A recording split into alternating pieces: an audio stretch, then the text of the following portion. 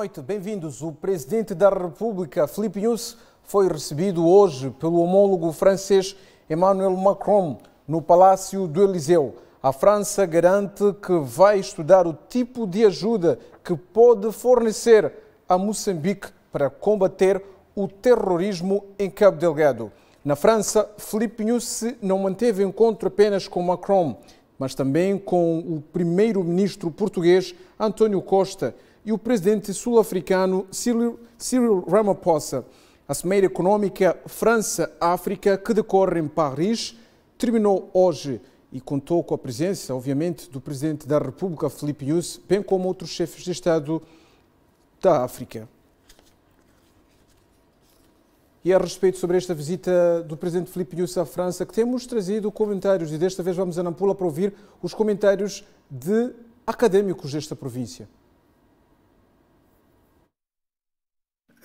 Eu penso que a visita de Sua Excelência, o Presidente da República à França, é muito importante e oportuna.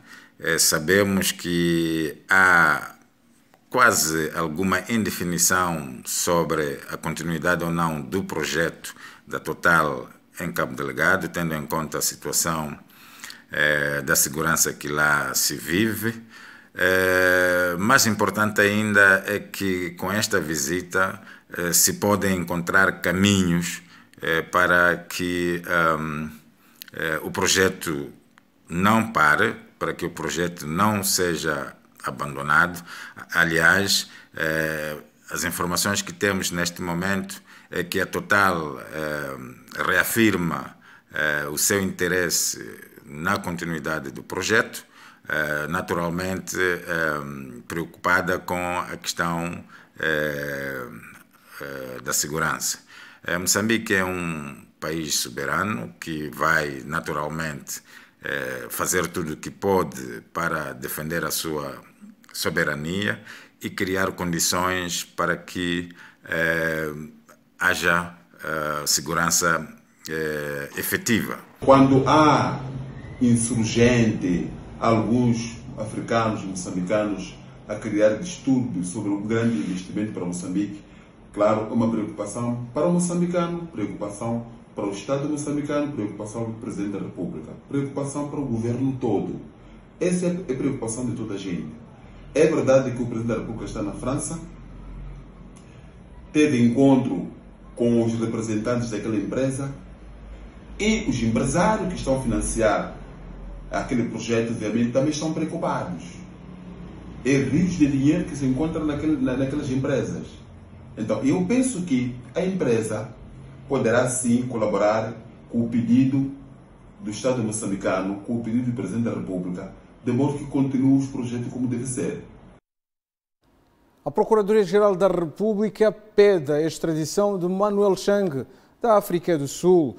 Manuel Chang está detido há mais de dois anos e há muito espera por esta extradição.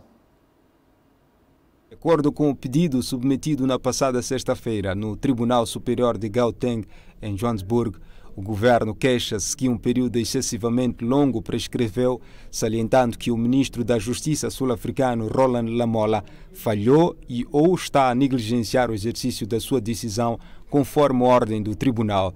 A PGR sublinha que a detenção do seu ex-ministro das Finanças desde 2018 na África do Sul viola o direito de Manuel Chang à justiça, mantendo-o na prisão a aguardar a extradição para Moçambique ou para os Estados Unidos para enfrentar acusações de corrupção e fraude financeira pelo seu papel nas chamadas dívidas ocultas no valor de 2,2 mil milhões de dólares.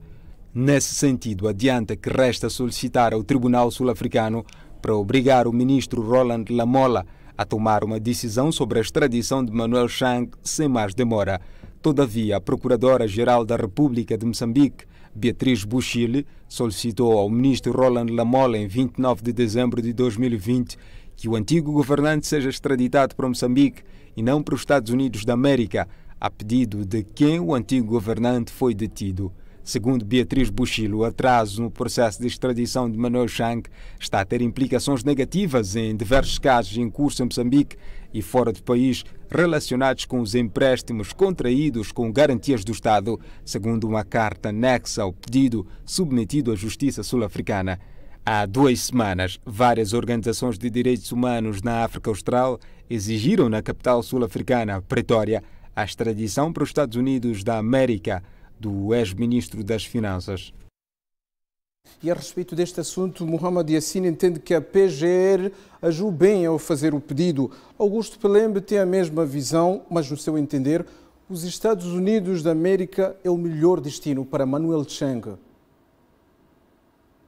A PGR, ao solicitar a quem está acima do ministro para que obrigue o ministro a tomar uma posição, facilita a vida do cidadão Chang e facilita também uma resposta definitiva formal.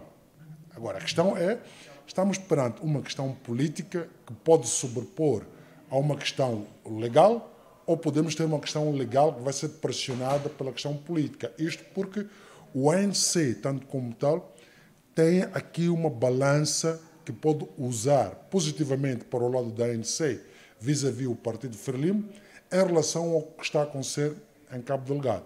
Ou seja, se Shang antes era moeda de troca em relação às dívidas ocultas, hoje em dia a posição definitiva que se for a tomar em relação ao Shang vai ser uma moeda de troca em relação a, a, ao envio ou não uh, do apoio que Moçambique precisa para Cabo Delgado. Também não, não deixa uh, de ser um, da nossa atenção que o presidente moçambicano em França irá reunir amanhã com o presidente sul-africano. E no, no, no, no, âmbito daquilo que se vai discutir, uma das coisas tem a ver com a liberdade do ex-ministro das Finanças.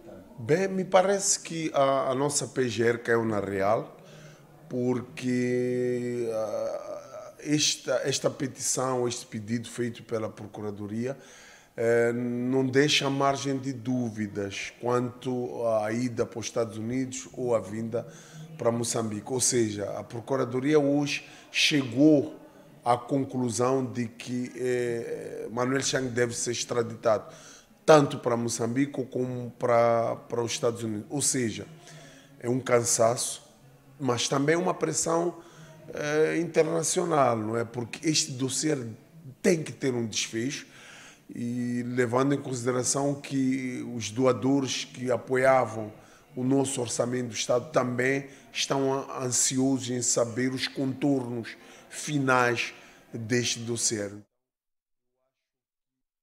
Hoje é 18 de maio, faltam cinco dias para a realização da quarta sessão do Comitê Central do Partido Frelimo.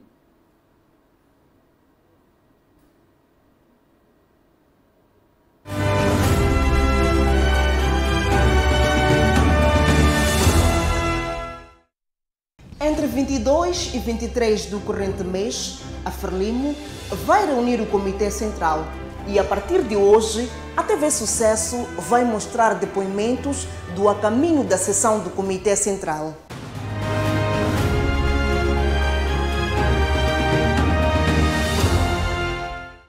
E a propósito dos depoimentos que vamos ouvir Alcide Unguenha, da Comissão Política, que assegura que a Frelimo não tem alas. O membro sênior do partido diz que ainda é cedo para debater sobre a sucessão de Filipe Nussi no partido, tal como alguns sugerem. Sábado e domingo vai decorrer a quarta sessão do Comitê Central da Frelimo. O encontro do órgão mais importante entre os congressos é o primeiro ordinário depois das eleições gerais de 2019. Número 1, um, relatório da Comissão Política, relatório do Gabinete Central de Preparação de Eleições, relatório do Comitê de Verificação, proposta de plano de atividades do orçamento do partido para 2021, informe sobre aquilo que são as atividades, nesse caso, do programa quinquenal do governo, nesse caso, o Plano Econômico e Social 2020 e 2021.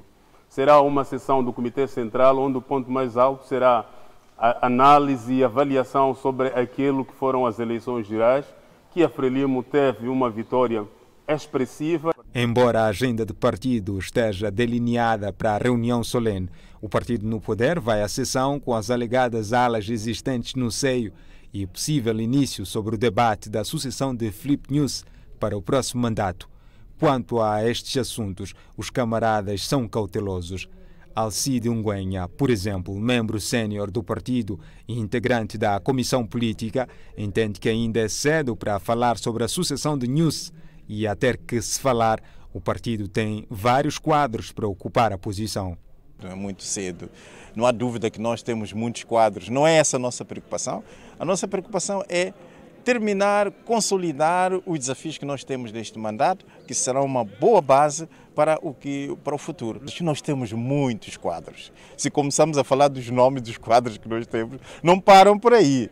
Né? Jovens, antigos, velhos, etc. Portanto, no momento oportuno, a Frelimo saberá encontrar a pessoa certa para os desafios do momento e estamos a ter uma boa liderança. Portanto, não há nenhum bliscar aqui. Nguenha desdramatiza a existência de alas na Frelimo e fala de um suporte a figuras de Flip News. Podemos dizer que não há espaço para alas dentro. Não, não há espaço para. Não esqueça que a Frelimo foi quem derrotou o colonialismo português. E foi esta Frelimo que construiu o Estado deste país e está pronto para os próximos desafios. Não temos alas. Pode e, e é, é, normal que em organizações de dimensão da Fredimo eh, termos camaradas que têm alguma afinidade, têm alguma proximidade. Isso acontece nas salas de aula, acontece nos locais de trabalho, sempre um e outro tem afinidade, mas afinidade é essa que não prejudica as relações profissionais e, para o nosso caso, não prejudica as relações políticas, a, nossa militância enquanto grupo social que se juntou e acreditando num projeto político ao qual todos estamos engajados a fazer valer. Se o assunto da sucessão de Felipe News é um dilema para quem levanta, Oswaldo Petersburg nem sequer comenta sobre isso. Bom, isso tem que perguntar a quem faz parte disso, caso existam. Não é? O que eu sei é que existe um partido que se chama Frelimo e esse partido que se chama Frelimo está a dirigir o governo de Moçambique e esse partido chamado Frelimo está cada vez mais unido e coeso. De resto, as expectativas para a realização da sessão do Comitê Central são otimistas e de certeza que o evento poderá ser produtivo. Portanto, é o momento da Frelimo encontrar-se, debater e eu acredito que teremos resultados extremamente positivos e vai ser muito importante para os passos seguintes. Temos grandes desafios hoje, o, a questão de, de, da defesa da soberania do nosso país, ainda a questão do processo de paz, que está a correr muito bem, o processo de paz efetiva, e também todo o processo em volta do, do desenvolvimento do nosso, do nosso país. Naturalmente, o assunto da pandemia eh, será também uma, um assunto, um ponto muito importante na análise, portanto, que vamos ter na sessão do Comitê Central.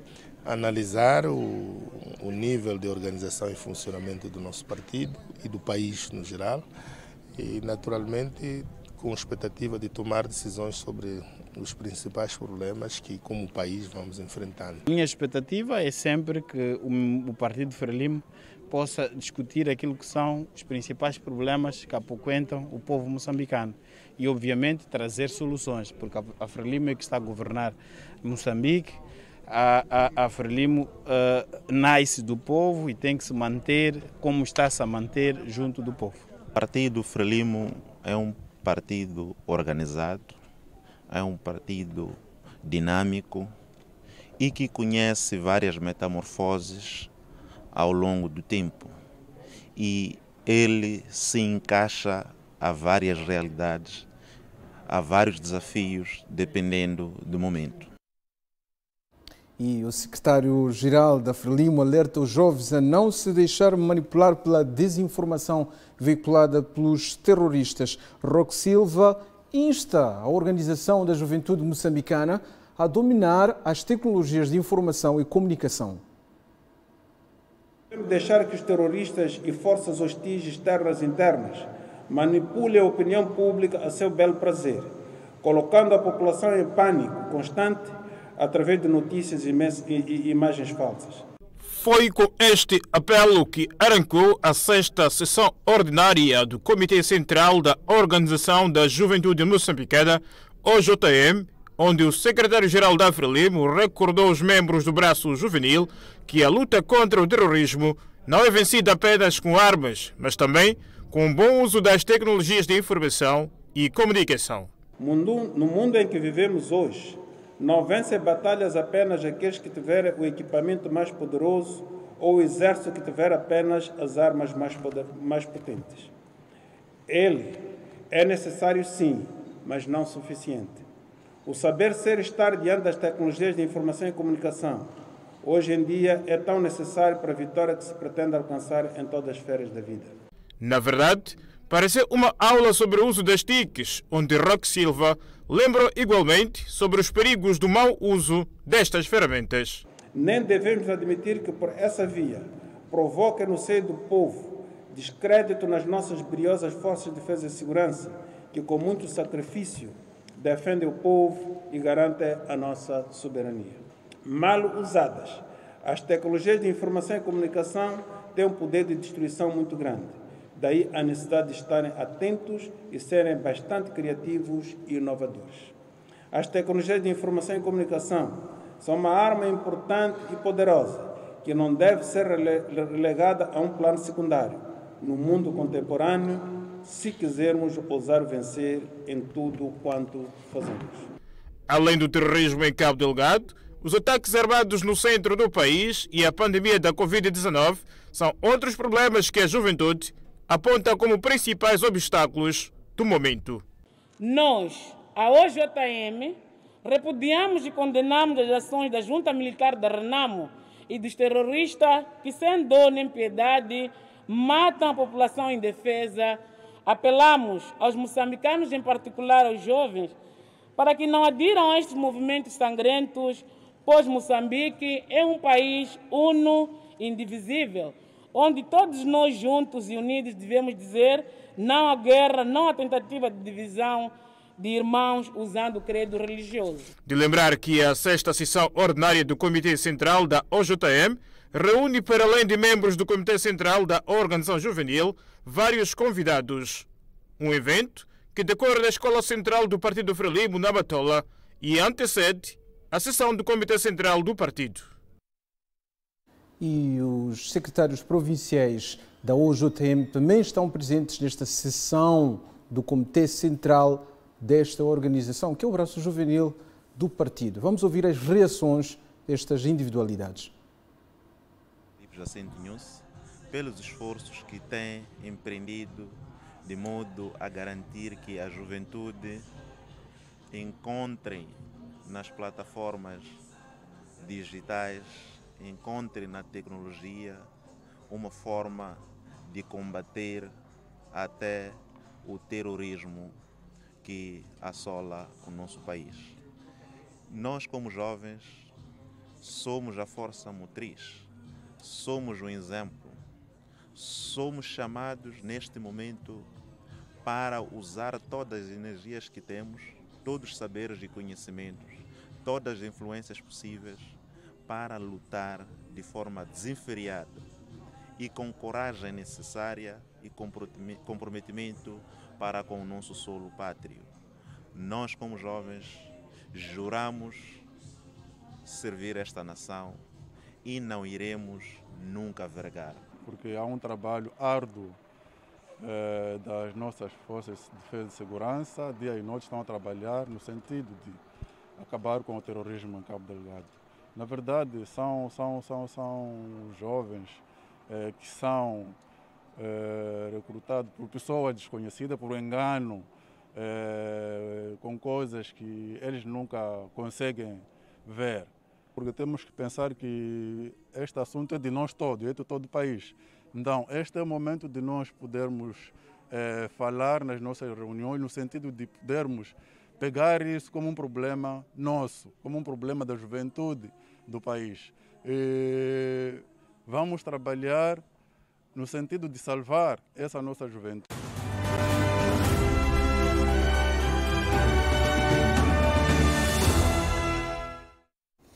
E vamos olhar para outras notícias. Uma menor de 16 anos foi detida na posse de mais de 20 kg de surruma em Manica. Há mais um detalhe: a menor tem um esposo e diz que a surruma pertencia ao amigo do esposo. Pelos plásticos, ninguém podia desconfiar de que se trata de droga, até podia se confundir como fardos de roupa. Mas no interior é cannabis sativa, conhecida por suruma, que estava na casa desta adolescente de 16 anos, a indiciada a contas com o Serviço Nacional de Investigação Criminal contou que a droga pertence ao amigo do seu esposo e que não sabe o seu paradeiro. Sábado ia voltar a levar outro saco. E ele quando leva manga? Hum, não sei. Esse Antônio é teu quê? Seu Hum. primo, teu cunhado, teu amigo? Não é nada. E agora como é que vem para tua casa tem essa intimidade? Acho que ele faz assim mesmo com as pessoas quando pede guardar isso. Ahmed Bolacho, porta-voz do Cernic Manica, garantiu que há trabalho em curso para desencorajar a venda e consumo de droga e esta será incinerada. Vamos a fazer o nosso trabalho de inteligência com vista a descobrir os outros integrantes e a posterior a sua responsabilização criminal. Estamos a trabalhar para a posterior ser incinerada. Não se sabe ao certo para onde ia não se sabe ao certo quanto renderia esta droga. Até o momento, o Serviço Nacional de Investigação Criminal não apresentou os verdadeiros proprietários, até porque a indiciada alega que esta droga foi levada à sua casa por um amigo do seu companheiro. As imagens são de Vanildo Domingos, Nelson Benjamin para TV Sucesso. E de Manica vamos a Gaza, onde em Manja Casa está detido um jovem tido como um criminoso perigoso. A polícia diz que foi difícil neutralizar este jovem. Com três mandatos de captura emitidos pelo Tribunal Judicial de Manjacase desde 2016, o jovem é apontado como responsável pelo roubo de viaturas, burla, agressão dos agentes da PRM, porte ilegal de arma do tipo caçadeira e exploração ilegal de madeira. Sobre as acusações, recusou-se a comentar, remetendo-se ao silêncio. Há alguma situação anômala para a sua dete- deten- detenção? Por que está detido? O Serviço Nacional de Investigação Criminal em Gaza reconhece ter sido difícil a neutralização do indiciado. foi capturado porque o Tribunal Judicial de Manjacás tinha três mandatos captura contra este cidadão por prática de diversos tipos de crime. Em 2016 foi indiciado pela prática de crime de furto de viaturas e foram feitas diligências e culminaram com a recuperação da viatura e ele andou foragido. O mesmo vem se envolver noutro crime de, de burla e abuso de confiança, outro crime de ofensas corporais contra agentes de autoridade, duas vezes interpelado por exploração ilegal de recursos florestais. Temos processo lá de porte de, ilegal de armas, eh, tipo caçadeira.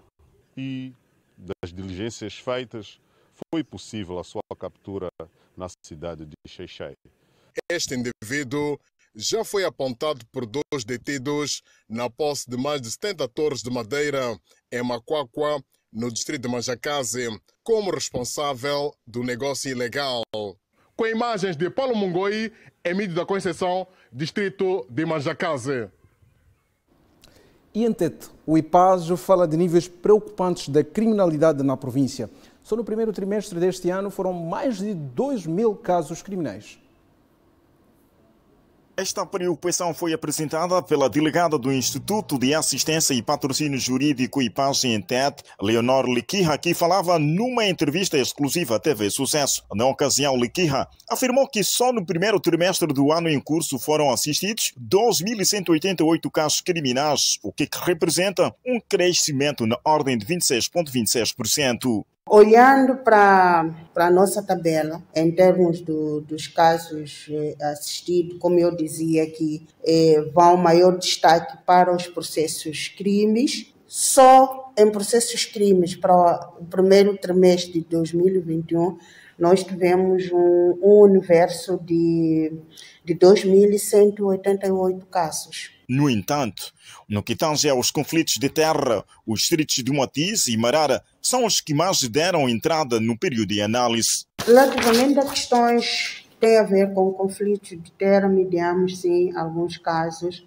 e, de facto, eh, procuraram pelos serviços do IPAS, que é para haver, reaver o, o seu direito. A delegada do IPAS em Tete apela aos cidadãos a denunciarem qualquer tentativa de cobranças ilícitas protagonizadas pelos técnicos do órgão. Uh, a mensagem que eu deixo e, e é, é mensagem de apelo a todo cidadão ao nível nacional, porque o IPAS existe ao nível nacional havendo uma situação de cobrança ilícita, é, que não haja receio é, de denunciar junto às delegações provinciais ou mesmo à direção-geral do IPAS, bem como ah, através de uma participação eh, à Procuradoria-Geral ou às Procuradorias provinciais. Refira-se que o IPAG na província de Tete, no primeiro trimestre do corrente ano, registrou 3.144 casos dos 2.447 planificados.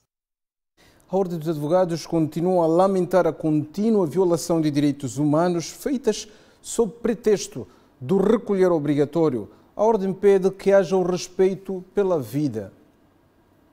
A Ordem dos Advogados continua a acompanhar e diz ser, com preocupação, os incidentes de violação de direitos humanos resultantes do recolher obrigatório. O enfoque que nós queremos dar é no recolher obrigatório. Em que medida estas ações tiveram impacto nas ações e nos direitos humanos das pessoas. A declaração de estado de emergência foi feita num dia, não é? e a publicação da lei foi feita no outro dia. Há um período em que a própria Constituição exige para a publicação. Portanto, são estas questões que é preciso aprofundar. Nós, quando estamos a implementar uma medida, uma norma, devemos sempre cumprir aquilo que é a lei e aquilo que é a nossa Constituição. Reconhecemos que é uma situação particular, que todos nós, desconhecida para todos nós, e que é uma situação imprevisível mas nem por isso devemos esquecer e salvaguardar os direitos essenciais do ser humano, na medida do possível, tendo em conta os limites impostos eh, pela lei. A Ordem reitera a necessidade do respeito pelos direitos humanos no contexto do recolher obrigatório que abrange algumas cidades do país. E porque nós próprios, como ordem, prestamos assistência jurídica, constatamos algum tipo de violações. Nós temos uma equipe no... lacunas, então, nós constatamos algum isso é lógico. Isso é lógico. Qualquer, todas as leis, não há nenhuma lei que ela é perfeita, porque a lei regula uma situação social e esta é uma situação nova. Refira-se que a Comissão dos Direitos Humanos da Ordem dos Advogados de Moçambique se propôs a defender o Estado de Direito Democrático, primando sempre pela promoção e defesa dos direitos, liberdades e garantias dos direitos fundamentais e humanos dos cidadãos em Moçambique, desde a introdução do estado de emergência à atual situação de calamidade. De volta para olhar as infraestruturas, com destaque às vias de acesso e os utentes da estrada que liga a região de Zero e a vila de Murrumbala estão agastados com o avançado estado de degradação da estrada e pedem a reabilitação urgente da mesma. Automobilistas dizem que as péssimas condições da via que liga a região de Zero à vila de Murumbala contribuem em grande medida para a danificação das suas viaturas. Sim, mas estou a ver que a estrada mesmo está tá mal. Dá para o governo pelo menos revestir um pouco a estrada. Ser pelo menos um pouco como de Dere, temos o Alcatrão, pelo menos o Saibor. Temos falta de muitas cenas. Hum. Muito complicado sim. Uhum. Não estamos a andar bem nada na estrada. Ok. provoca também coisa do acidente não acidente também, porque está cheio de covas. Sim. Desta forma. Sim, sim, há muito tempo, sim, sim. Até agora ainda não arranjam nada a estrada. Então, assim mesmo. Cheio de buracos, cheio de covas também. Provoca muito acidente. Os comerciantes que usam a via revelaram ser complicado continuar com a atividade comercial devido às péssimas condições de transitabilidade. Difícil mesmo, principalmente quando é para transportar daqui para outro distrito lá, mesmo ser para aquele mar. Sido muito, muito complicado mesmo. E a estrada mesmo nada está bom. Sim, sim, muito difícil. Tem grande dificuldade mesmo que se apresenta através do transporte mesmo. Estrada mesmo mostra muita dificuldade mesmo. Então, gostaríamos mesmo o governo se pensasse pelo menos que essa estrada mesmo, sabendo que aqui no, distrito tem algumas pessoas que beneficiam também uma função qualquer, pelo menos organizar essa estrada também a deslocamento, deslocamento daqui para ser um pouco fácil através da estrada. Há muito mesmo, a parte da estrada mesmo não está bom nada mesmo. Sim, sim, lamentamos muito mesmo, preferimos que o governo pensasse que aqui mesmo merece mesmo essa estrada estar boa. Visivelmente agastados, os entrevistados pedem intervenção do governo. Está muita partida, nós trabalhamos aqui todos os dias como taxistas, mas a estrada está muito partida, cada vez mais a nossa moto, quando nós compramos uma moto nova assim, não dura, não leva muito tempo, por causa da nossa estrada está muito partida. Pior daqui para tem zero, a estrada está muito partida. É por isso nós estamos, nós estamos a pedir ajuda para o nosso governo para nos ajudar a arranjar a nossa estrada para que nós andamos bem. Nós menos temos um município, muitas cenas, aqui tem falta, aqui tem falta de muitas coisas, não tem o que, aquilo que dá, dá ser para a cidade, nada faz. Importa referir que o distrito de Murumbala é potencial na produção de milho e gergelim. Cerca de mil empresas em Manica não descontam ou não canalizam descontos aos trabalhadores, neste caso ao INSS, uma dívida que já atingiu mais de 100 mil milhões de meticais. A situação salarial dos trabalhadores moçambicanos no setor privado já é considerada crítica. O problema vem agudizar-se quando o patronato não procede descontos para o Instituto Nacional de Segurança Social, comprometendo o futuro da massa laboral. De acordo com a delegada do INSS em Manica, Florber Asbic, as empresas de ramos de construção civil são as que mais devem. As empresas que mais devem são do ramo de construção civil. São empresas que abrem num período de tempo, depois fecham porque não têm obras, então vão declarando e no final pagam as suas contribuições. Na província de Manica, são ao todo pouco mais de 4 mil empresas com dívida de 100 milhões de meticais. Nessas 4 mil empresas, o, número total, o valor da dívida é aproximadamente 100 milhões. Para todas as empresas estão na situação devedora requereram para o INSS, eh, estamos a fazer de tudo para poder eh, fazer com que todas as empresas tenham conhecimento dessa situação e poderem requerer. O número é de 4.116 empresas. Os dados foram avançados numa entrevista por ocasião da divulgação do decreto para perdão das dívidas das empresas, onde o INSS reuniu com gestores de várias empresas na província.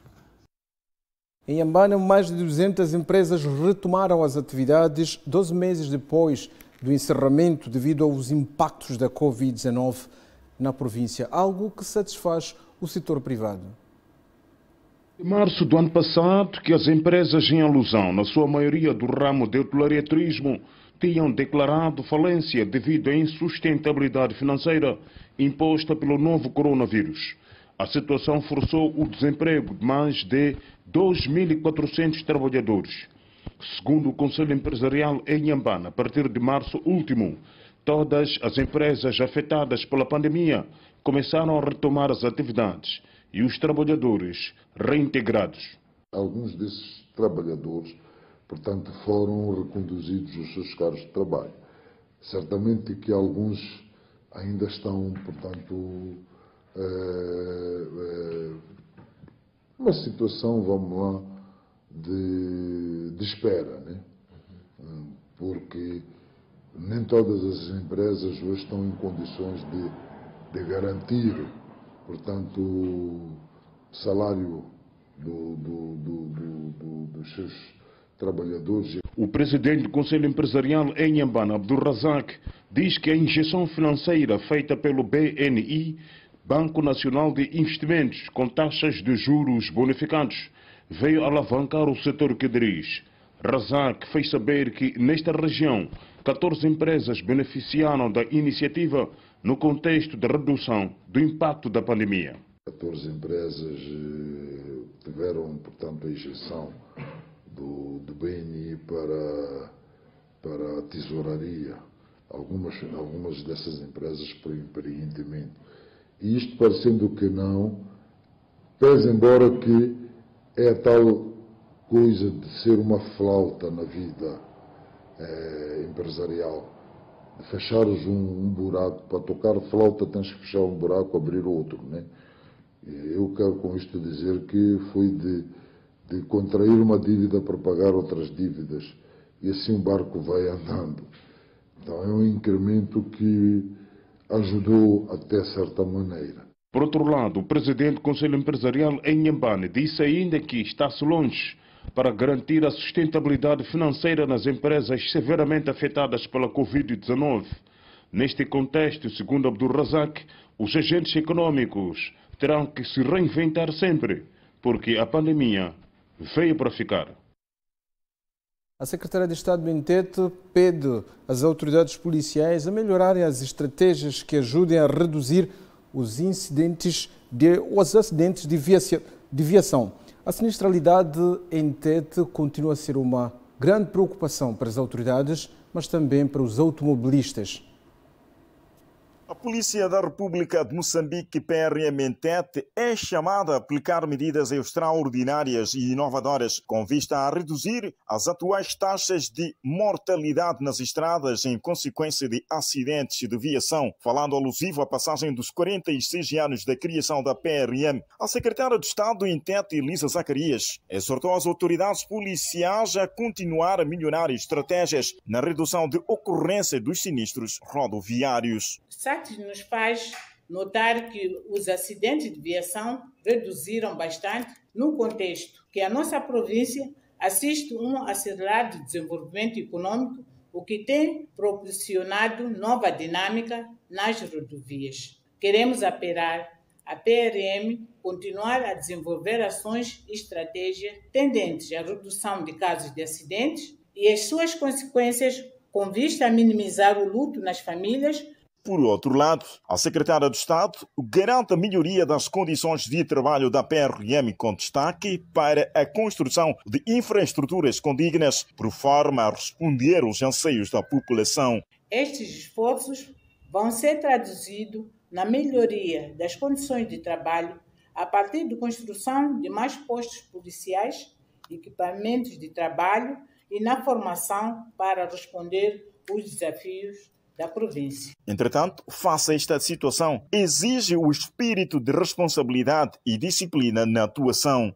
Em contrapartida, exigimos de vós a disciplina e a disciplina, o patriotismo, o sentido de responsabilidade, bem servir e a boa planificação na, na gestão dos recursos disponíveis que devem ser rigorosamente observados. Só assim que podemos reduzir as dificuldades que enfrenta no nosso cotidiano. Importa realçar que o 46º aniversário da PRM na província de Tete foi caracterizado com patenteamento de 61 policiais em diferentes categorias. É, vamos à atualização da Covid-19. Há 22 positivos, 3 internados e 18 recuperados nas últimas 24 horas. Dados do Ministério da Saúde indicam que dos novos casos positivos da Covid-19, 12 são homens e 10 mulheres, todos de nacionalidade moçambicana. Desta forma, eleva-se para 70.485 o número de casos positivos da doença no país, dos quais 70.169 são de transmissão local e 316 são importados. O MISAL, ainda em atualização sobre a situação da Covid-19 no território nacional, referiu que mais três pacientes foram internados nas últimas 24 horas e quatro tiveram alta hospitalar. Na mesma diapasão, as autoridades sanitárias anunciaram o registro de mais 18 pessoas que recuperaram da estirpe e também não houve registro de nenhum óbito devido à Covid-19. Assim, 68.749 indivíduos previamente infectados pelo coronavírus encontram-se livres da doença. Atualmente, 8.173 cidadãos observam ainda a quarentena domiciliar e 757 contactos de casos positivos estão em segmento. O Ferroviário de Maputo descarrilou no primeiro jogo da Liga Africana de Basquetebol ao perder frente ao Zamalek do Egito por 71 a 55. Foi com derrota que o representante moçambicano Ferroviário de Maputo estreou-se na Liga Africana de Basquetebol diante do Zamalek do Egito, que vincou o seu favoritismo ao vencer por 71-55. 16 pontos de diferença que são esclarecedores das diferenças entre as duas equipas. Apesar do duplo-duplo de Álvaro Maza, 24 pontos e 11 ressaltos, a prestação do espanhol foi insuficiente para que os locomotivas saíssem com a vitória deste jogo. O representante moçambicano que entrou com Demarco Joland, Álvaro Maza, Milton Caifás, Stélio Diniz e Custódio Muchate para um embate diante do Zamalek do Egito, teve uma entrada em falso, principalmente no primeiro período, quando ainda procurava conhecer o seu adversário na quadra. Ainda tentou esboçar uma reação à pressão exercida pelos egípcios, e terminou a perder por 16-13, mas reagindo da melhor forma no segundo período, em que chegou a fazer 20 pontos contra 18 do seu adversário, indo ao descanso a perder pela margem mínima de 1 ponto, 34-33. No reatamento, as limitações físicas da equipa orientada por Milagre Macom vieram ao de cima e influenciaram negativamente o próprio jogo pensado. Sem culpa disso, o Zamalek do Egito agradeceu, vencendo o terceiro período por 15 a 9 e agravando a diferença para 7 pontos, a entrada dos últimos 10 minutos, nos quais o Ferroviário de Maputo foi praticamente inexistente. Marcou 13 pontos, sofreu 22 e o resultado final estabeleceu-se em 71 a 55. Refira-se que a equipa nacional volta a entrar em cena às 17h30 desta quarta-feira, 19 de maio. Será diante dos senegaleses do AS do Anis, equipa que para a primeira ronda do grupo C bateu o GC Petroliers da Argélia por 94 a 76. Derrota de Moçambique, derrota do Ferroviário de Maputo. O presidente da Federação Moçambicana de Futebol diz que o futebol moçambicano baixou de qualidade nos últimos tempos devido à falta de coerência. Feizal Cidade falava no paredão. Nos últimos tempos, o futebol moçambicano tem vindo a ser depreciativo, o que leva com que os adeptos pouco apoiem esta modalidade e é neste âmbito que Feizal Cidade presidente da Federação Moçambicana de Futebol, lamentou o fato e diz que tal deve-se à falta de coerência. Há problemas hum, sérios em termos de, de estruturação e o, o futebol em Moçambique é muito mais polêmico do que mais. As pessoas gostam mais coisas polêmicas, não é? Do que construtivas. Ah, o outro, um aspecto é que há sempre inimigos, ou vamos dizer adversários. Não há uma certa união e coesão. Cidade criticava alguns clubes que pouco investem na sua formação e nos seus campos. O seu Machaquén, não é? É Machaquén com 20 meses de salário em atraso. Um Machaquén, quem conhece o Machaquén? O Testa África, hoje assistimos um jogo do Teste África, estava a ver via stream, o, o, o campo pelado, praticamente, pelado. Não é? Portanto, há muita coisa. É verdade que não é a Federação Moçambicana, nós somos os donos do futebol, mas também nos passam à margem. Deve haver um bocadinho mais investimento na formação. Na mesma senda, Faisal Cidade lamentou a falta de boa gestão dos clubes. Eu acho que eh, há má gestão dentro da instituição, provavelmente ah, há pouco interesse na formação. Ah, a outra é que eles, se soubessem quão dinheiro vocês podem ganhar ao investir na formação. O grande problema é que nós queremos resultados imediatos. Porque tu, quando trazes um talento, trabalhar com o talento, depois conseguir vender por 100 ou 200 mil ou 500 mil dólares, aquilo que nós sabemos, é isto que os clubes têm que, têm que saber. Por outro lado, falou das nuances que os atletas têm enfrentado e a falta de formação dos jogadores. Em termos de trabalho de base, o próprio jogador não tem, mal consegue, sabe dominar, ah, não tem um sentido de passe, não sabe se posicionar, acho, psicologicamente não está preparado, em casa tem problemas, dificuldades financeiras. Há uma série de nuances. O atleta tem que estar frio. Refira-se que o campeonato nacional tem baixado a sua produtividade em número de jogadores com qualidade, razão pela qual temos poucos atletas nacionais a jogar fora do país.